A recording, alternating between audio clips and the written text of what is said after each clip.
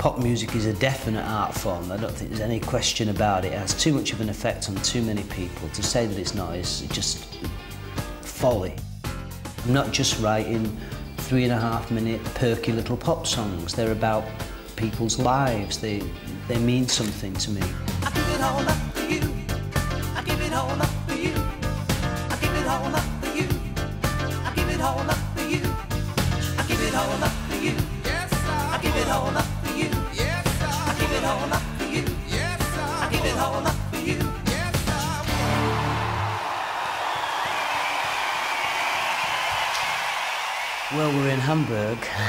because um, it's a crazy city. It's the, it's the crazy one in Germany. All European audiences tend to be very loud, and, but these guys really, they, they, they break the record.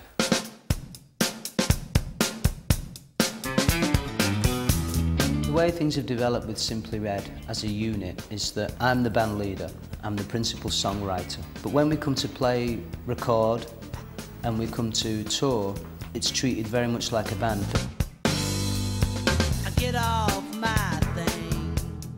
The band as it stands in, in, on touring now, ladies first, is Dee and Melinda. They came for auditions and landed the job after the first song, you know. They just walked in, they had, their, they had their act together.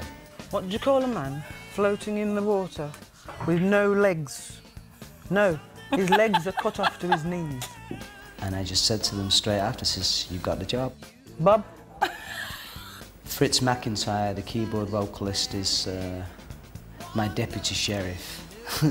the two new members of Simply Red are Gota Yashiki, the drum programmer and drummer, percussion player, and uh, Shaun Ward, uh, who helps out on vocals as well. Ian Kirkham on saxophone, Tim Kellett, odd job man and trumpet player, keyboard player. The last member of the band is uh, Hector Pereira, the guitar player from Brazil. I think the group that he's assembled now is of the highest calibre, and it really, really shows when you go to see the, the current concert tour. How far is it? Is it close? The gig? Ah.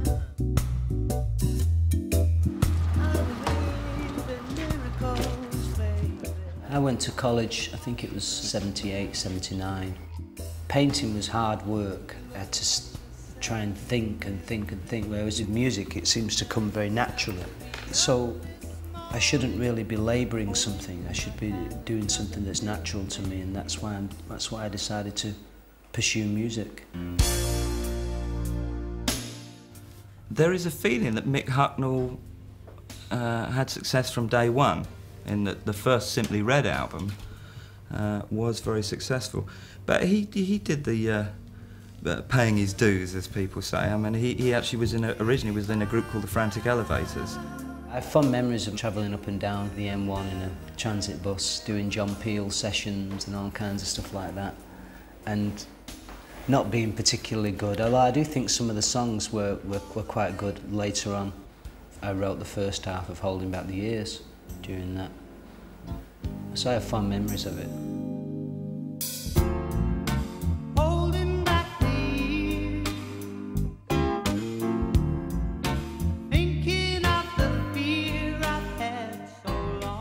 The second song I ever wrote on an acoustic guitar. Um, and then I didn't write the chorus, the I'll keep holding on, until I was about 24. Um, amazing, really. The guy I used to write songs with him was like in the band at that time, Neil. He's got a credit on the, on the record. Just because it's such a, it reminds me so clearly of that particular time that it seemed strange that I wouldn't, couldn't do that.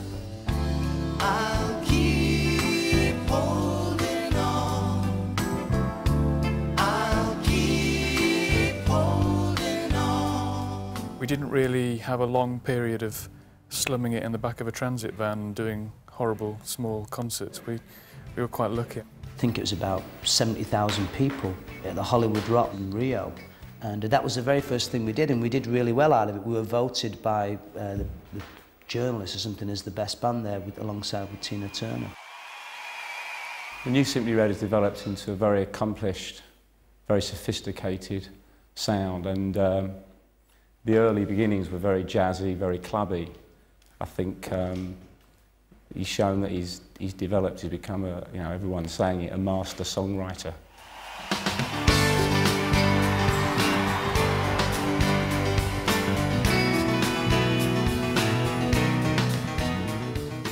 The title The Stars really comes from three, three areas. The one is the, the European nation's flag.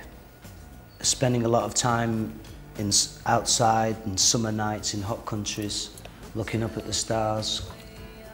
The thing about looking up there is that there is, there, it fulfills so many questions and, and answers in itself. It, it's the future, it's the past, it's mythology, it's science, it's just, it's romance, it's anything you want it to be. Also, during the, the period free from touring, uh, I got the chance to look at a few other stars. The Eric Claptons, the Elton Johns, you know, I admire them. And I, I've learned a lot from that generation.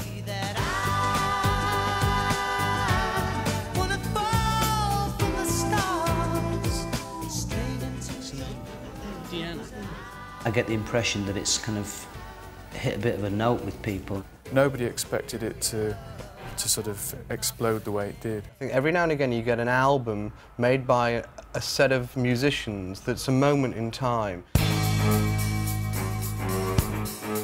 The song Freedom was based upon kind of very fundamental feeling that I had in East Berlin. This place was to me quite unbelievable. You know, the fact that people could be subjected to this kind of lifestyle for so long um, because they're not bad people, they're, they're just regular people who, who could do much, much better under a better system. The idea was just a group of people just marching, that create that kind of music and just saying how long are we going to have to live in this way? It's just, we don't have to live this way. It really affected me over there. I came back thinking, my God, we're so, I'm so lucky to be born in, in this part of the world, you know. It really freaked me out.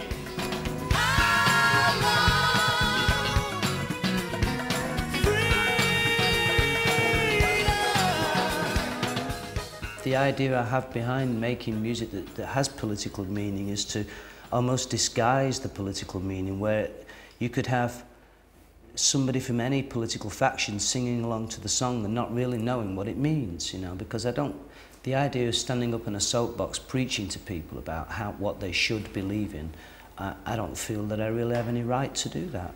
You know, if somebody asks my opinion, I'll give them my opinion, but I'm not going to start telling people what to think because I, I think it's just, it's going to affect my music.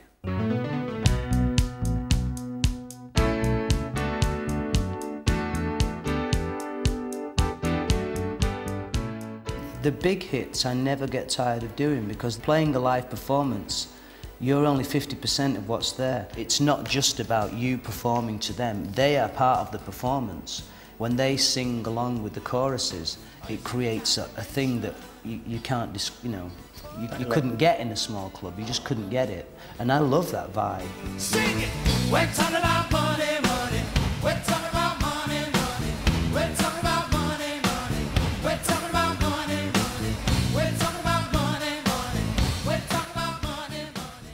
Where the band really shines as well when it's live. It's just so much more exciting than what you get on the record. I mean, the, the CD and everything's great, but if you come and see us play live, it's just a whole different thing. every time when we are playing live, every time we're enjoying to play. So like we're doing like 20 more songs, right? Yeah, yeah. But it's like seems like a really short. They're really enjoying playing together and sparks fly when they play. It's really now a very, very exciting group. The interaction between musicians is something that, when you do it properly, is quite magical. It's something that, that defies uh, practical reality. And I think it's really one of the most important things that people get moved by music is because of that quality. Okay. Mick has a voice that has partly old-fashioned leanings, but he has a love of music that encompasses everything right up to the modern day. I think he's really come of age as a songwriter. I don't think anybody um, can take that away from him now. I think he's really arrived as a high quality songwriter.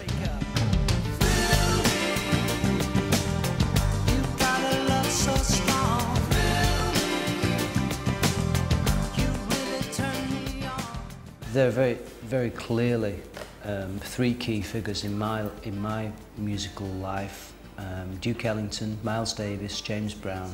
Being influenced by that kind of music prevents you from, can I say it on TV, going up your own arse, you know, because it's, um, it's classic music. And I try to do that. I try to make it accessible to people's ears. To him, it's a developing art and a craft, and he loves it. He loves music. It's good to know what's going on around you and what's gone on before you. Then you can learn and maybe come up with something original in the future. I like the idea of, of the music changing and evolving, just like it has done up to now. A lot of the great jazz musicians played with lots of different players in their groups.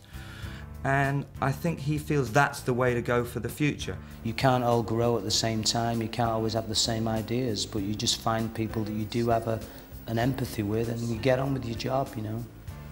I think this time we've, uh, we've reached a much wider audience. I just think it's got to everyone, this album. They're an interesting bunch, I think. They seem to range between the ages of like 15 and 50. They, they just seem to mix with each other so well. And they seem to be such a convivial group of people that it creates an atmosphere that's fantastic.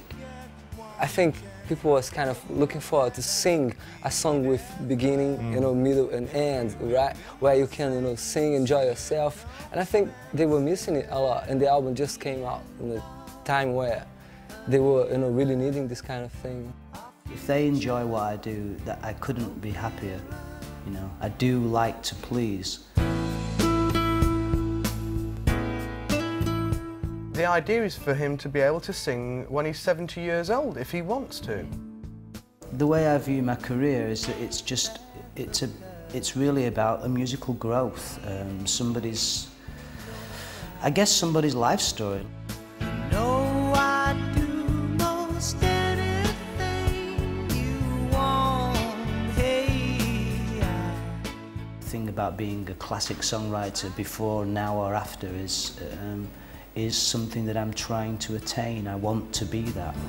I don't believe in many things, but you. The music is improving and um, I'm just trying to articulate myself as best as I can and uh, I think I'm getting better at doing that.